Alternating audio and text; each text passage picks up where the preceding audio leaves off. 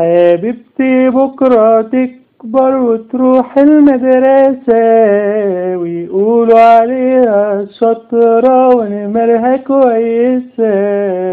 لو سألت حبايبي الحلوين هو أنا بعمل إيه دلوقتي؟ هيردوا عليا بكل ثقة بتغني. طبعا. هتلاقوني رديت عليكم أسرع وبقول لكم لا طبعا مش بغني. أنا بتكلم أهو دلوقتي. هتقولوا لي إزاي؟ ما أنت كنت بتغني من شوية. وإحنا كنا سادين ودنا ومش عايزين نسمع.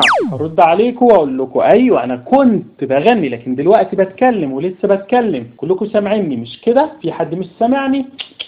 كلكم سامعين. طيب الحمد لله. طيب تعالوا بقى نقولها. أنا بتكلم دلوقتي. هيرد عليا واحد فيكم ويقول لي هي حسبة بيرما يعني؟ أنا أتحدث الآن. أنا كمان برضه هرد عليه وهقول له مكانك مش هنا. اشتغل شغلانتك وإحنا نمولك. أنا أتحدث الآن دي في حصة العربي هناك. أنا عايزها بالانجلش هيرد عليا ويقول لي بسيطة. I am talking now.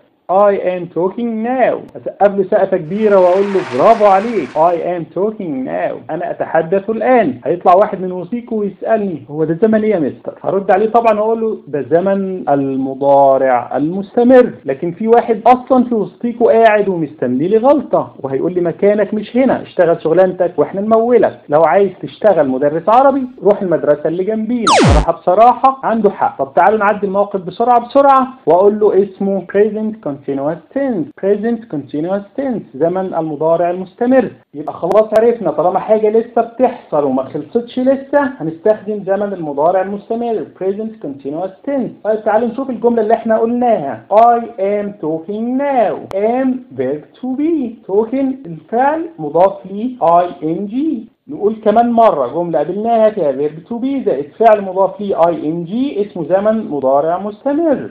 طيب وبالنسبة للآي هنرميه؟ يعني لا مش هنرميه أكيد ده اسمه الفاعل أو subject ونقدر نستبدله بأي ضمير he أو she أو it you أو they أو we. بس نخلي بالنا verb to be اللي هو الفعل يكون بيتغير على حسب الضمير اللي بيجي معاه. وإحنا عارفين إن it أو she أو he بيجي معاهم is.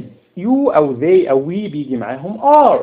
طب وال I بيجي معاها دايما am. الجملة بتاعتنا كانت بتقول إيه؟ كانت بتقول I am talking now.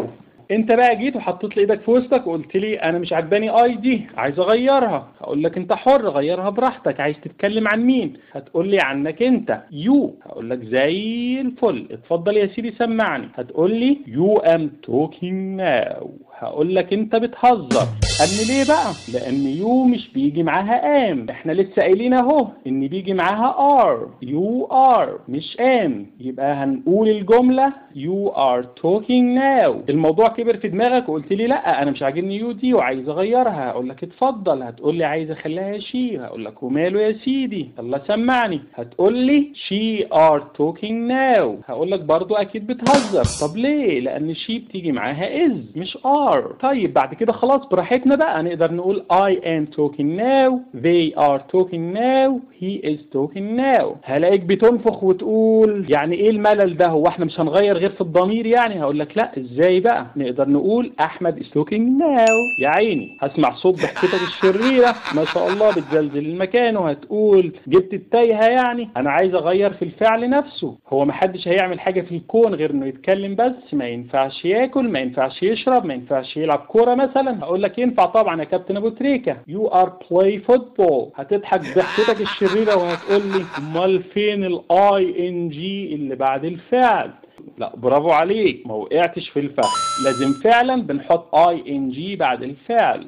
واسمها you are playing football. طيب أنا بقى مثقف ومش بحب الكورة بحب القراية. ما هو مش بالعافية ألعب كورة يعني. هقول إيه؟ I am reading a book. I am reading a book. بعد كده براحتنا خالص نقدر نقول he is eating. She is dancing. We are jumping. They are singing. نقدر نغير في الضمير براحتنا بس ناخد بالنا من verb to be. ونقدر نغير في الفعل لكن مضاف ليه ing حلوة الأغنية دي. نقدر نغير في الضمير بس ناخد بالنا من verb to be. ونقدر نغير في الفعل لكن مضاف ليه ing نقدر نغير في الضمير. بس ناخد بالنا من verb to be ونقدر نغير في الفعل لكن مضاف ليه ing حلوة الأغنية دي.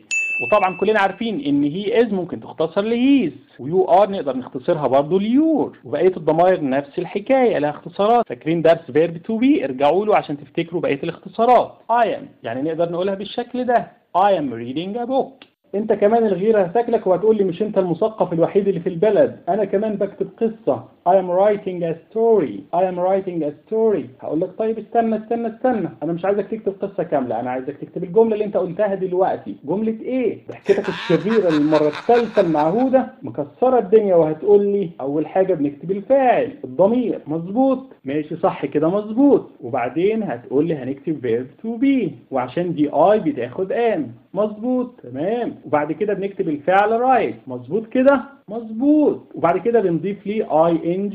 يبقى writing. مظبوط؟ لا مش مظبوط. طب ليه طيب؟ هقول لك قطيع محدش بياكلها بالساهل. مش كل الأفعال بترضى نضيف لها ing كده وخلاص. دي اسمها الأفعال الشاذة. لازم يكون ليها التاتش بتاعها وبصمتها الخاصة. مش بترضى نضيف ليها ing بدون أي تغيير كده وخلاص وقاعدة ساكتة. وده اللي إحنا هنعرفه إن شاء الله في الفيديو اللي جاي. مش بقول لكم قطيعه محدش بياكلها بالساهل. انتظرونا قطيعة محدش بياكلها بالساهل